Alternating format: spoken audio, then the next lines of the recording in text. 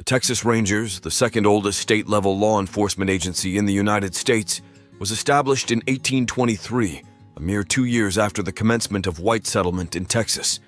After the Mexican War of Independence, approximately 600 to 700 families migrated to Texas. However, the region lacked a regular army to safeguard its new residents. New impresario Stephen F. Austin took the initiative to assemble skilled frontiersmen into informal groups known as Rangers to safeguard settlers against Indian attacks and other criminal threats. It wasn't until October 17, 1835, that Texas formally established the force we now recognize as the Texas Rangers. On November 24, 1835, Robert McAlpin Williamson was appointed as the inaugural Ranger Major. Beginning with a contingent of 56 men organized into three companies, the Rangers rapidly expanded, with their numbers exceeding 300 by 1837.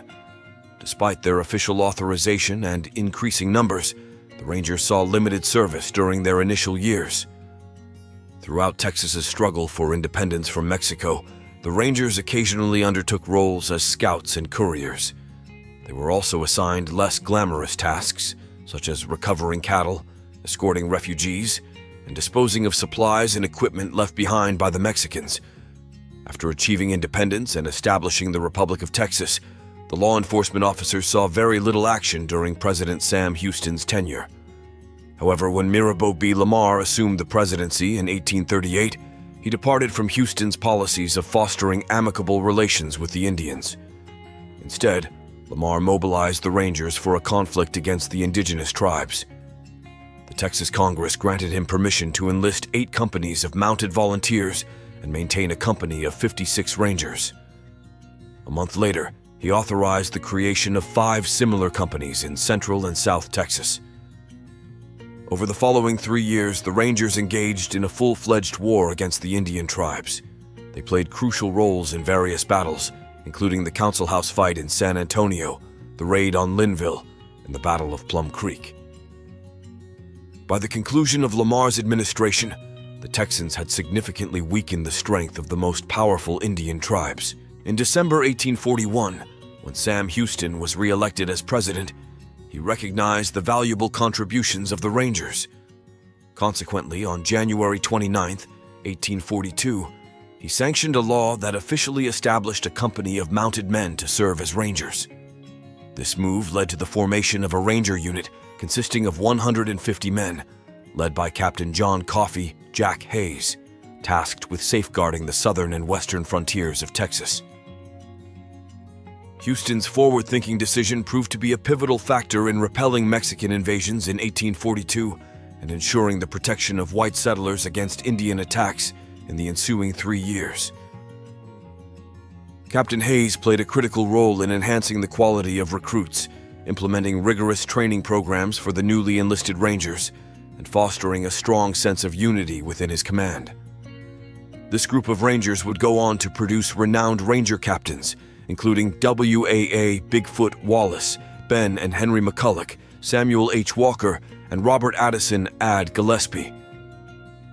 In 1846, Texas officially became part of the United States, marking the beginning of the Mexican American War, when the U.S. sought to establish the boundary at the Rio Grande. During this two year conflict, the Texas Rangers were called upon to support the American Army, and their remarkable achievements in battle earned them international recognition as a formidable fighting force. Mounted on well-equipped horses and armed with a diverse array of weapons, the Rangers were so effective against Mexican guerrillas that they garnered the nickname Los Diablos Tejanos, or the Texas Devils. With the conclusion of the Mexican-American War on February 2, 1848, the responsibility of safeguarding the Texas frontier fell upon the United States. In the absence of an official role, the Texas Rangers began to lose some of their renowned captains and frontier defenders. A decade later, in the spring of 1858, the Rangers briefly returned to active duty when they were dispatched north to the Red River to address a group of Comanche Indians. However, in 1861, when Texas seceded from the United States during the Civil War, a new organization known as Terry's Texas Rangers was established in Houston. Under the leadership of Colonel Benjamin Franklin Terry, many former Rangers enlisted in his ranks. During the challenging period of Reconstruction between 1865 and 1873, the Rangers were appointed as the state police, entrusted with enforcing unpopular new laws associated with Texas rejoining the United States. This era tarnished their reputation among war-weary Texans. While they functioned as a military-style police unit when enforcing these new laws and combating Indians or Mexicans, they operated more like traditional lawmen and posses when pursuing outlaws. A significant shift occurred in May 1874 when the state Democrats returned to power, and Governor Richard Coke, along with the legislature, allocated $75,000 to organize six companies of 75 Rangers each. By this time, Texas was plagued by outlaws, Indian threats along the western frontier, and Mexican bandits wreaking havoc along the Rio Grande. These new Ranger units were strategically stationed throughout the state and collectively referred to as the Frontier Battalion. During this era, the Ranger Service assumed a role that blended aspects of an army and a police force. In 1877, the Texas Rangers embarked on a pursuit of the infamous outlaw, John Wesley Hardin. Hardin had been on the run since he killed Deputy Sheriff Charles Webb in Brown County back in 1874. Determined to bring him to justice, Texas Ranger John Barclay Armstrong, also known as McNelly's Bulldog, obtained permission to chase Hardin across state lines. The confrontation reached its climax when they finally confronted the notorious outlaw on a train in Pensacola, Florida. It led to an inevitable shootout resulting in Hardin being rendered unconscious, one of his gang members losing their life, and the rest of the gang being apprehended on July 23, 1877. In the spring of 1878, Sam Bass and his gang embarked on a spree of heists, robbing two stagecoaches and four trains within a 25-mile radius of Dallas.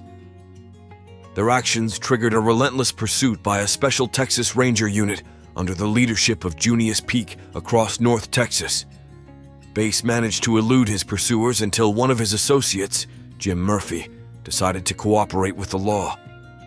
As the Bass gang rode south with intentions to rob a small bank in Round Rock, Murphy contacted Major John B. Jones, commander of the Frontier Battalion of Texas Rangers. In Round Rock, Texas, Major Jones orchestrated an ambush leading to a fierce clash between the gang and the Rangers on July 19, 1878. Amid the chaos, Sam Bass's close companion, Seaborn Barnes, lost his life, but Sam himself sustained injuries, although he managed to escape on horseback. The following day, he was discovered in a weakened state in a field north of town and brought back to Round Rock, where he succumbed to his injuries on July 21st. In the following years, the Frontier Battalion managed to apprehend over 3,000 Texan outlaws. However, as time passed, the frontier itself began to fade away by 1882. During the subsequent three decades, the Texas Rangers saw a decline in their prominence and prestige. Nonetheless, they continued to sporadically deal with cattle rustlers, confront Mexican and Indian raiders along the Rio Grande, and at times shielded African Americans from white lynch mobs. As the 20th century approached, critics began calling for a reduction or even the abandonment of the Texas Rangers. Consequently, the Frontier Battalion was dissolved in 1901, and the Ranger Force was downsized to four law enforcement companies, each consisting of 20 men. Ranger duties were subsequently redirected toward maintaining law and order among the citizens of Texas. However, when violence escalated along the Rio Grande, the Rangers found themselves engaged in numerous violent clashes with Mexican nationals.